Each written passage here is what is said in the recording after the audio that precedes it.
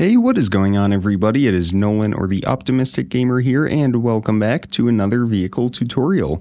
Today, we are building a 2023 Freightliner Cascadia that you see right behind me. This was not a request or anything like that. It's just a, in my opinion, a very sleek looking truck, very modern, and one of my favorite truck designs overall, so I thought I would design one and pass it along to all of you. Here are the materials that we are going to need today. It is quite a bit of detailing on this, so you are going to want to make sure you have all of those. And without further ado, let's get right into the build. Start with your two front wheels placed one block apart from each other with black concrete, and then we are going to leave a six block gap going towards the back on the seventh block. Place another black concrete two more wheels like this, and then a one block gap and place two more wheels yet again. Then take your blackstone slabs and just place a row down the middle in between all of the wheels like this, and a row of three across the front.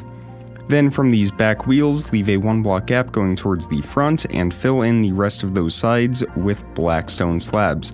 It should be five more in total on each of those sides, and then in between the back four wheels, right in the middle, one more blackstone slab. So it should look something like this. Now we can move on to our quartz. Actually take your black concrete first, place one on the very front middle, and then take out your quartz stairs. Place two quartz stairs on either side, right side up facing forward. And then we are going to place an upside down stair over the front wheels on both sides and take your smooth quartz blocks and then place one, two, three, four, five, six blocks going towards the back. We can turn this upside down stair right behind it, so go to the front, stand so that you are facing the back, and then turn that stair so it is going out. So it's right side up stair facing the front, upside down over the wheel, upside down stair turned out. The rest of these blocks behind it will be smooth quartz blocks. So we should now be looking about like this.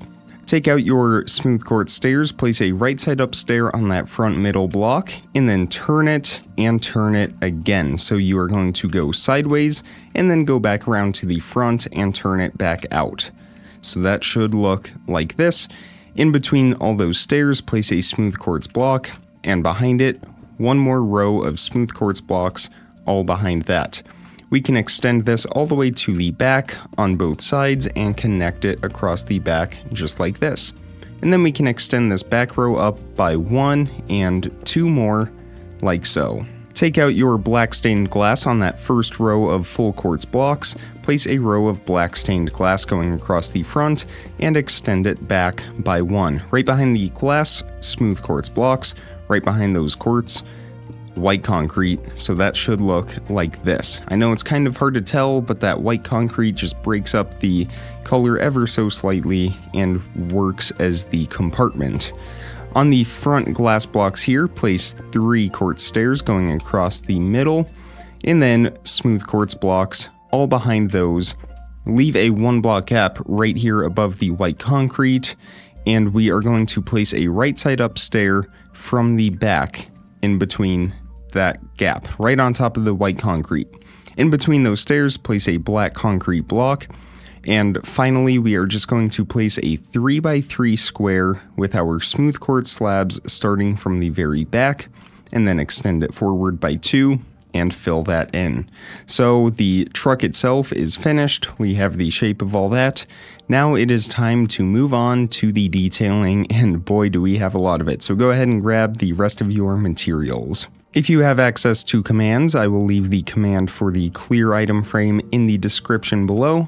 If not, you can use normal item frames, those will work just fine.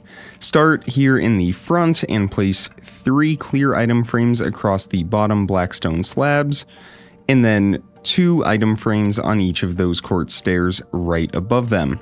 And then do one more row of item frames on top of these stairs above the glass.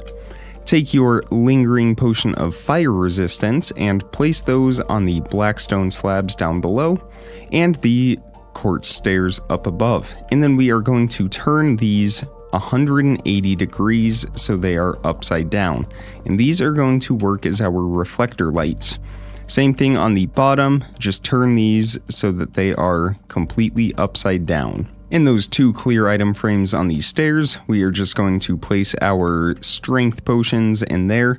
And if you are not playing in 1. I think, when did they do this? I want to say 1.19.3 or 4, they removed the enchanted effect on the potions. If you are playing on an earlier version, you can use orange and yellow concrete instead. That will work just fine and then take your wither skeleton skulls, stand on the side of the truck, and place one on this side of that stair and one on this side of that stair. So that should look like this.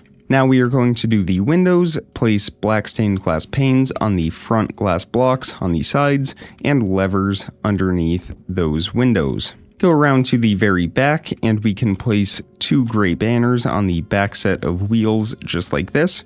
And now we are just going to work on the side a little bit more right underneath this side window, place a clear item frame, place a clear item frame on the white concrete, and then going down leave a one block gap, and on that bottom quartz, one more clear item frame. In these two item frames right here, andesite slabs, polished andesite slabs, and then underneath the window here, a polished andesite stair, and we can turn that so it's facing back. Same thing on this side, with the clear item frame under the window, on the white concrete, and one block gap in between it going down. Polished andesite slabs in the two back item frames, and a polished andesite stair. Turn that so it's upside down, facing backwards. And the very last step we have is to place stone buttons on all of the wheels and there is your finished 2023 Freightliner Cascadia. I hope this tutorial was easy to follow. I know there's a lot going on on this truck, but I am very happy with how it has all turned out. If you did enjoy this tutorial, definitely hit that thumbs up button and be sure you are subscribed so you don't miss out on daily content as soon as I publish it. Check the description for some more important information, links, how to contact me, all of that good stuff. And with all that being said, comment, like, subscribe, remember to stay optimistic, and I will see all of you tomorrow. Thank you so much for watching, everybody. Bye.